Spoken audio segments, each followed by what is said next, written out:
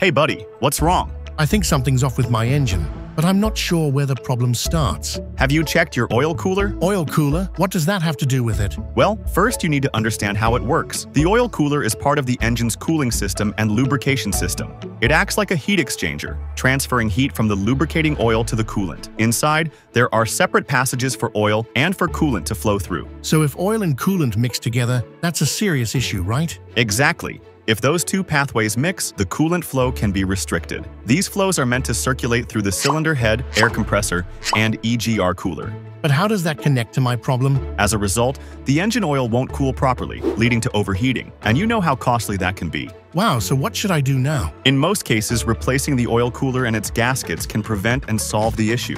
You can install new oil cooler gaskets. I can see this is a 2013 to 2017 Paccar MX13 oil cooler module, so you can use the oil cooler gasket kit for Paccar from MJ Gasket. Their gaskets are top quality, OE fit, and super durable. The oil cooler module has several openings that must be sealed properly, otherwise oil leaks and coolant leak may occur. I've used MJ Gasket for my other engine parts. I like their products. Yes, and they even have Paccar oil cooler gaskets for 2018 to 2021 models. Thanks, buddy. I'll fix it right now with MJ Gasket.